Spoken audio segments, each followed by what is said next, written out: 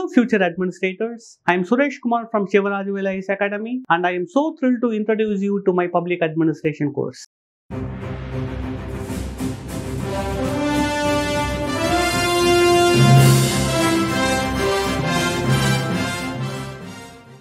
the last 13 years, I have been guiding UPSC aspirants in the grueling process of prelims, mains and interviews. And let me tell you one there's one unique subject in the whole process, and that is public administration. Why public administration? You might be wondering, why should I choose public administration as my optional? Well, let me give you three compelling reasons. Reason one versatility.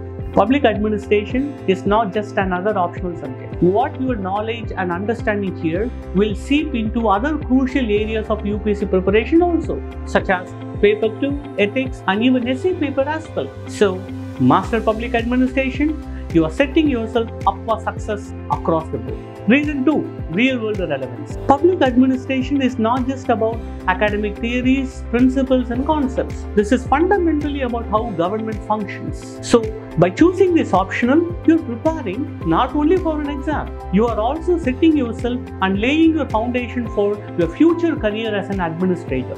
Reason 3 scoring potential. Let us be honest. We all ultimately aim to find our name in the final list. Public administration as an optional as an easy syllabus and also easy application of its concepts. This will give you the crucial edge in the extra marks which will help to get your name in the final list. Now you might be thinking, okay sir, you convinced me about this public administration as an optional subject, fine, but why I have to join your course? What makes our course special? Now let me give you reason for that. Reason 1, integrated learning. Every optional subject has paper 1 and paper 2 but they are not actually separate. So we should learn these two papers as an integrated holistic manner and that is what I will follow in my course. Reason 2 current affairs integration. Theory is important but so is updated with the current affairs. So the integration of the current affairs with the theoretical concepts is very essential to ace this subject and in our course we will do exactly that so that you know how to integrate and interconnect current affairs with the basic fundamental theoretical frameworks of public administration. Reason 3 Answer writing skills. In the UPSC mains examination, reading, knowing is not just enough. But how you present that in your answers is very, very important to get the good marks. And in my course, I have designed it in such a way that your answer writing skills is honed to perfection. Reason 4 Personalized mentor. This is not just one size fit all approach.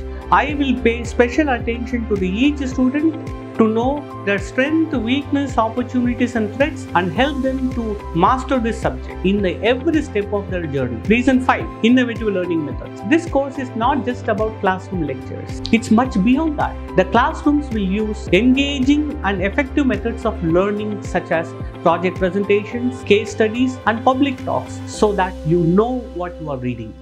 Course details. This course is for 4 to 5 months. It is designed for those who are ready to take up 2025 UPSC examination. And once this course is over, you will be having a comprehensive test batch after 2025 preliminary examination. So it is designed in such a way that you will be transformed from an UPSC aspirant into a confident candidate to face this mains examination.